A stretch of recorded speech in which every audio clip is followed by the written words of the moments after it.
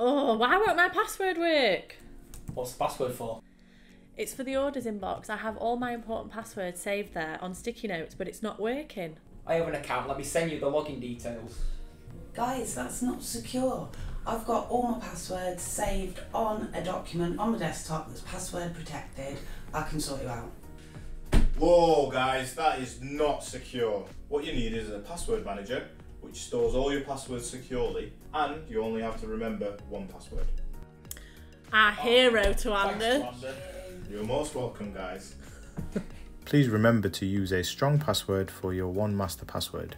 This is a random combination of uppercase letter, lowercase letters, number, and symbols that form no words or name. You should also enable multi factor authentication on all accounts for an added layer of security.